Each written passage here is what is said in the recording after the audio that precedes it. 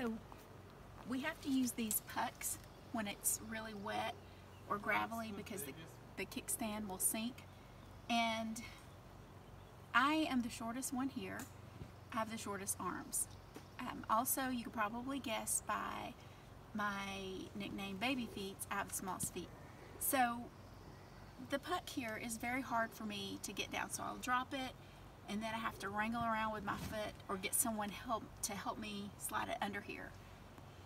Then getting it up, I can't get it up by myself because obviously I can't reach it and somebody has to pick it up for me. So all this time, I've been on the puck struggle bus.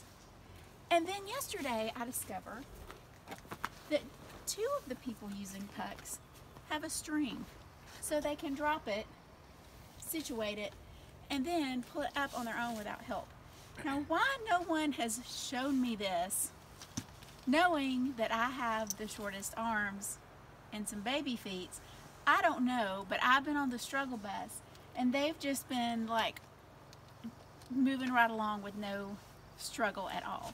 So today I think that I will get a string from my puck so that I won't have to ask someone to help me and I won't struggle trying to do it.